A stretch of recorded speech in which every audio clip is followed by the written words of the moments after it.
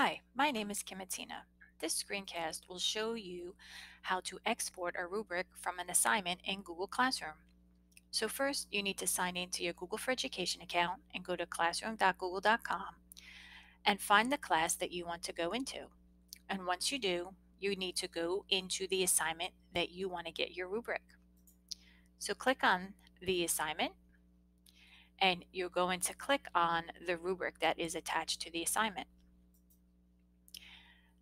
Once you do that, your rubric will be displayed. And over here on the top right, you will notice that there is a three dot menu. Simply click on the three dot menu and select Export to Sheets.